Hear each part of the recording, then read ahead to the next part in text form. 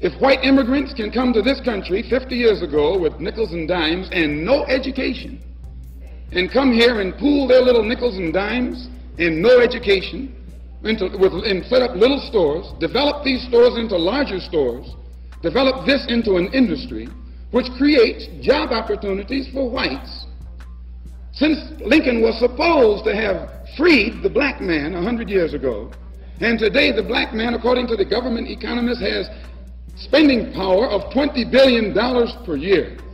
We feel that with the black man spending $20 billion a year, not setting up any businesses, not creating any industry, not creating any job opportunities for his own kind, he's not in a moral position to point the finger today at the white man and tell the white man that he's discriminating against him for not giving him a job in factories that he has he himself set up. If the black man has $20 billion, and these so-called Negro leaders are such geniuses that they can integrate white restaurants and integrate white factories and integrate, force themselves into that which the white man has set up, they should use this same ingenuity to show the black people how to pool our wealth and set up something of our own. And then we won't have to force our way into his anymore. One more thing I would like to point out concerning what he said about 125th Street.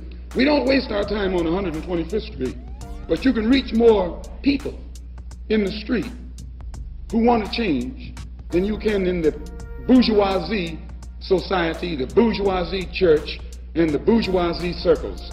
We, our program is directed toward the man in the street. So we spend our time in the street, and what we do with that man, instead of trying to change the white man and your mind and make, uh, make you accept us, we change the mind of the black man and make him accept himself.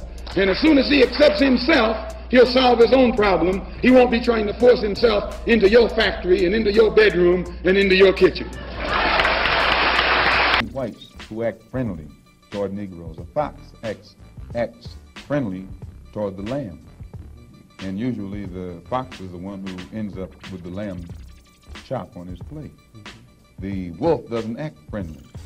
And therefore the wolf has more difficulty in getting the lamb chopped in his plate.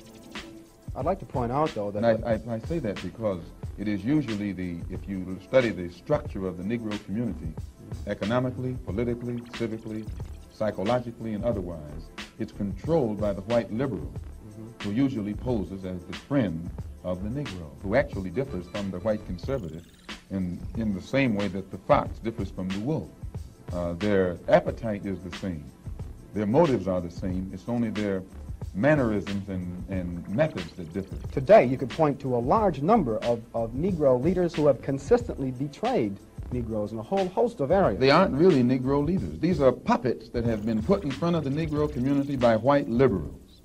These are parrots that have been put in front of the Negro community by white liberals. You can't name me a Negro leader who has been a Negro leader who has been who has betrayed Negroes, who is not who has not been endorsed sanctioned, uh, subsidized, and supported by the white liberals.